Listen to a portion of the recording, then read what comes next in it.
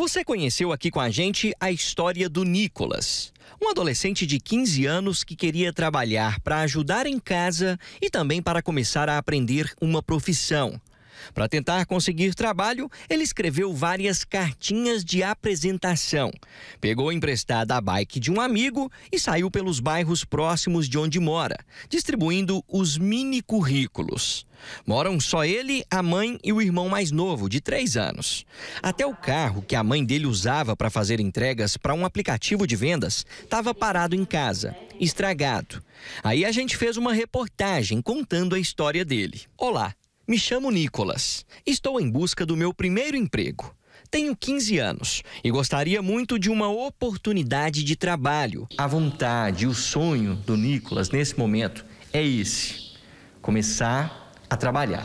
Depois da reportagem, a coisa começou a melhorar para eles. Quando estava passando a reportagem, o celular dele já começou a tocar bastante, bastante pessoas, graças a Deus, empenhadas a ajudar, teve muita oportunidade. Ele fez várias entrevistas. Eu quero até agradecer a todo mundo que deu essa oportunidade para ele, fez entrevistas e por fim, o senhor Juliano ligou para ele, falou que, que era uma área que ele, que ele gostava de trabalhar, para ele ir lá na segunda-feira, que eles iriam apresentar a empresa para ele, que se ele gostasse, ele já estava contratado. Então foi isso que aconteceu. Nós viemos aqui na Vila Cristina, onde mora o Nicolas, fizemos a reportagem com ele, a família dele. Depois fomos lá no setor Progresso, aqui próximo também, onde fica a mercearia da Camila. Ela que pegou a cartinha, recebeu, se emocionou e enviou para o Oloares, nosso apresentador do Balanço Geral. O Oloares também se emocionou, postou nas redes sociais, gerou comoção e aí a gente fez a reportagem. A partir disso, muita coisa mudou. Ele recebeu várias propostas, fez, passou por algumas entrevistas até que ele achou ali na empresa de manutenção de motores do senhor Juliano a oportunidade que ele queria e precisava. Aí teve também, como ele pegou para enviar as cartinhas a bicicleta emprestada de um amigo, muita gente quis também que ele tivesse a bicicleta.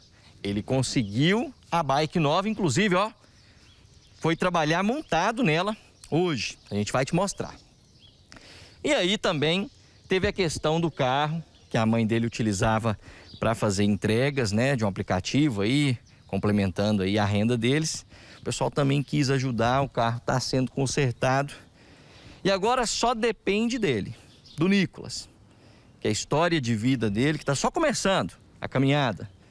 Está só começando, mas só depende dele agora, com essa grande oportunidade, fazer a história dele mudar e mudar para melhor.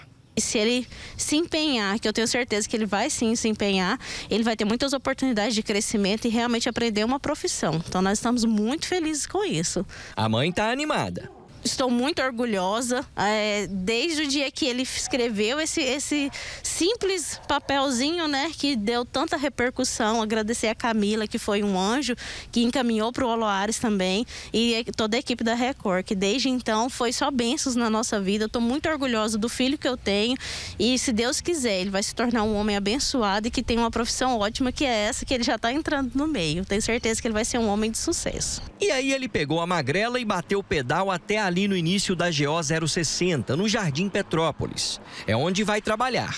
Muito feliz, né, por estar tá começando a trabalhar na área que eu sempre quis.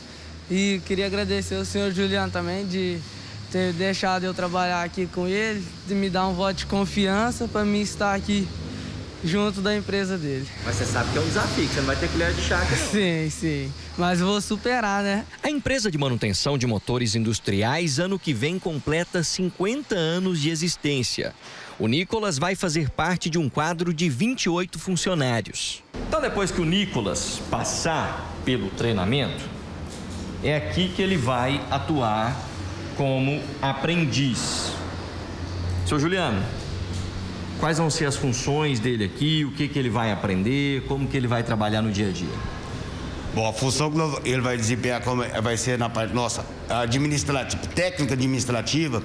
Ele vai estar auxiliando o pessoal na formação, na elaboração de propostas técnicas comerciais, elaboração de laudos, tá? Que ele vai ser treinado para isso e vai dar o suporte para o nosso pessoal de produção através do nosso almoxarifado. Então, realmente, além de estar tá trabalhando, né, tá ajudando em casa, no sustento dele, no sonho dele, né, ele também vai estar tá aprendendo.